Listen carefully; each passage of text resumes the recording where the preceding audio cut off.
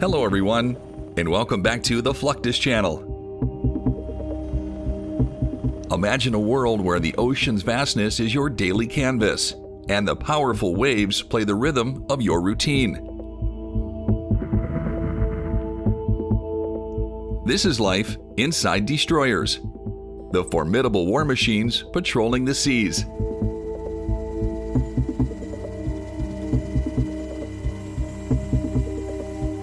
Within these steel giants, crew members work tirelessly, merging their skills and determination to uphold peace and security.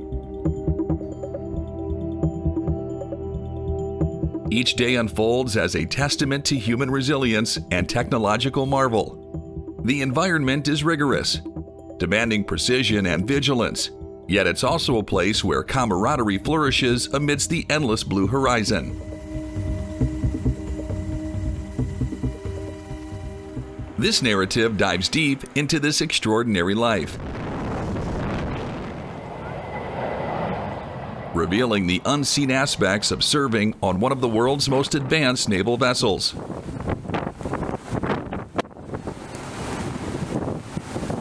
In the realm of naval warfare, the term Greyhound evokes images of agility, speed, and relentless pursuit. In the Navy, it represents a class of warships that are the epitome of tactical prowess and strategic significance. Greyhounds, often symbolized by destroyers and frigates, are engineered for high velocity operations, cutting through the waters with precision and grace. Their role extends beyond mere presence. They are the guardians of the seas specializing in convoy escort and anti submarine warfare.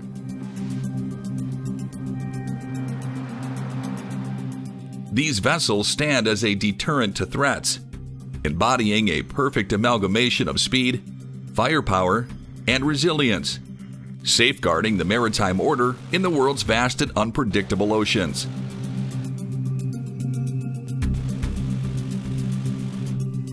Let's focus our lens on a particularly iconic class of destroyer, the Arleigh Burke class. These guided missile destroyers represent a remarkable fusion of technological innovation and naval strategy. Central to their design is the Aegis combat system, anchored by the SPY 1D multifunction passive electronically scanned array radar. Named in honor of Admiral Arleigh Burke, a distinguished World War II destroyer officer and later Chief of Naval Operations, these ships are a testament to his legacy. Measuring over 500 feet in length and displacing up to 9,700 tons, they boast an arsenal of over 90 missiles, surpassing many of their predecessors in size and firepower.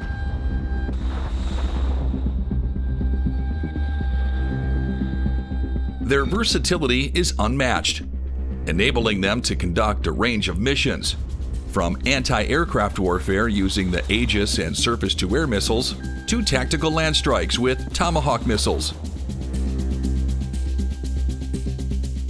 Their anti submarine warfare capabilities are enhanced by towed array sonar and anti submarine rockets alongside ASW helicopters.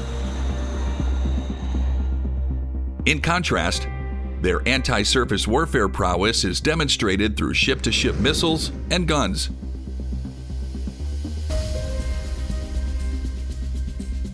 Further evolving through upgrades like the AN Spy 1 and AN Spy 6 radar systems, these destroyers have become pivotal mobile platforms for anti ballistic missile and anti satellite operations. The USS Arleigh Burke, the lead ship of this class, was commissioned in 1991, marking the beginning of what would become the U.S. Navy's longest running production of surface combatants. As of October 2023, all 73 ships built remain active, with more planned, highlighting their enduring significance in maritime defense. The Arleigh Burke class has evolved through four variants, or flights, each incorporating technological advancements to meet the dynamic needs of modern naval warfare. Aboard the formidable Arleigh Burke class destroyers, a world far beyond their strategic and combative functions unfolds, reflecting the day to day realities and human elements of naval life. At the core of this floating community is the galley, more than just a place for meal preparation. It's where culinary staff work diligently to provide nourishing and comforting meals, acting as a central gathering spot that fosters a sense of unity and camaraderie among the crew. This bustling mess deck becomes a place of social interaction and a welcome break from the rigors of naval duties. Serving as a reminder of home for those stationed far out at sea. As vital as these communal spaces are the personal quarters, the sleeping cabins. Though compact, these cabins are essential havens, offering sailors a private refuge for rest and contemplation. A necessary contrast to the constant activity and demands of their roles on the ship. Beyond the structured routine of work and rest, Life on these destroyers is punctuated by moments of leisure and recreation, integral for maintaining morale during extended deployments. The ship transforms into a lively community with events like picnics on the deck, where the vastness of the ocean serves as a backdrop for moments of relaxation and socializing. Singing competitions and cooking contests emerge as popular pastimes creating an atmosphere of friendly competition and fostering a sense of family among the crew members. Games and other recreational activities provide a much needed escape, giving sailors a chance to unwind and connect with each other on a personal level.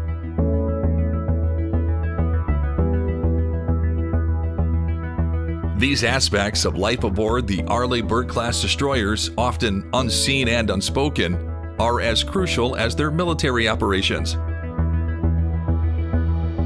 They represent the spirit and resilience of the crew, a testament to their ability to find balance and camaraderie in the unique environment of a naval vessel, constantly navigating the challenges of life at sea.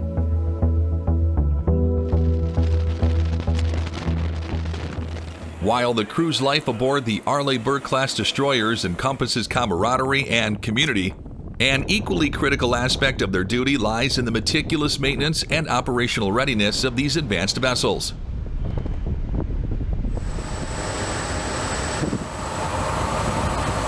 Regular maintenance of the ship's lifelines is paramount, ensuring that every component of the guided missile destroyer operates at peak efficiency.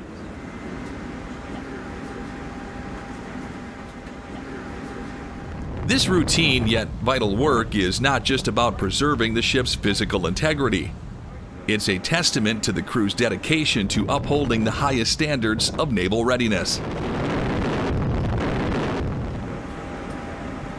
In addition to the routine upkeep, these destroyers frequently conduct replenishment at sea operations, demonstrating their capability to sustain prolonged deployments.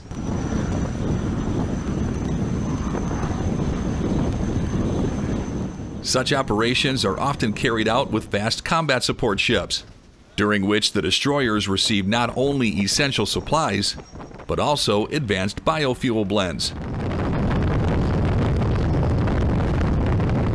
This practice underscores the Navy's commitment to innovative, sustainable practices, aligning with broader environmental goals. The seamless execution of these replenishment missions is crucial, as it ensures the destroyer's continued readiness to support global security and stability.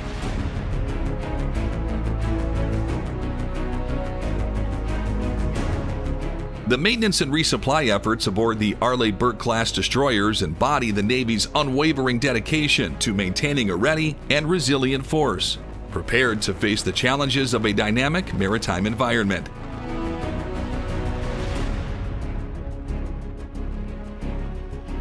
These vessels engage in intensive flight operations and firing drills to maintain peak readiness. These ships, equipped with helicopters, extend their operational capabilities through air support, vital for reconnaissance and tactical advantage. Frequent live fire exercises test and hone the precision of their missile and gun systems, ensuring combat readiness.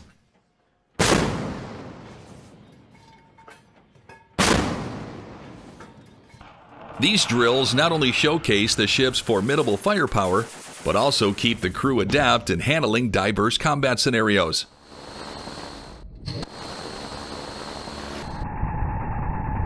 Highlighting their capabilities during Valiant Shield 2014, these destroyers demonstrated their prowess in Torpex.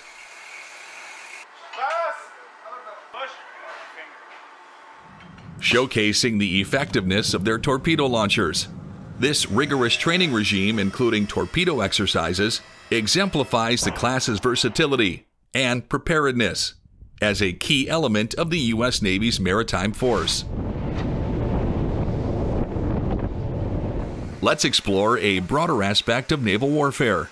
Torpedo launches remain a key element in maritime combat. Torpedo tubes, essential for launching these underwater weapons, vary significantly between submarines and surface vessels. Submarines typically employ versatile launchers, suitable for torpedoes, mines, and cruise missiles.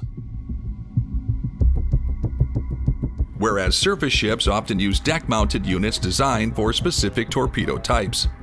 Innovative examples include French submarines using piston mechanisms for torpedo launch, contrasting with the more common compressed air method.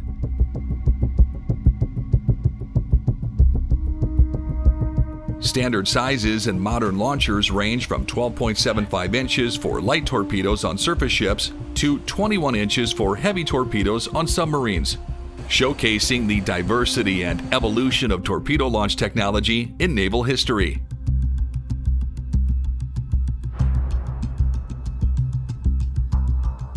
From the discussion on torpedo launches, let's explore how submarines, the stealthy predators of the deep, transition from surface patrolling to submerging underwater. Before a dive, a submarine performs a meticulous patrol, ensuring the surrounding waters are clear and conditions are optimal for submersion. The actual diving process involves a complex interplay of mechanics and physics. Water is allowed into the ballast tanks, increasing the submarine's weight to achieve negative buoyancy. Simultaneously, the dive planes are angled to assist in the downward movement. This carefully controlled flooding, balanced with precise adjustments to the submarine's trim and buoyancy, enables it to descend smoothly beneath the waves.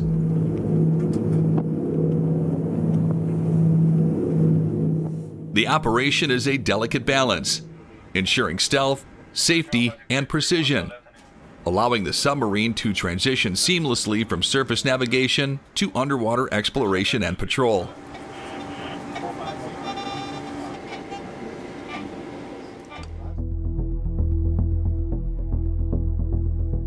The intricate dance of naval technology, from the formidable capabilities of surface ships with their advanced torpedo launchers to the stealth and intricacy of submarine operations, represents the pinnacle of maritime engineering and strategy.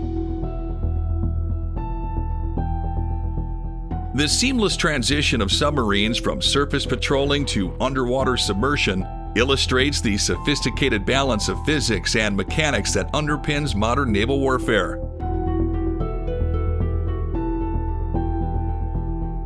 These capabilities, combining raw power with precision and stealth, underscore the vital role of naval forces in maintaining security and stability in the world's oceans. That's the end of this video. I hope you enjoyed it. Make sure to subscribe to this channel so you don't miss any of our new content. See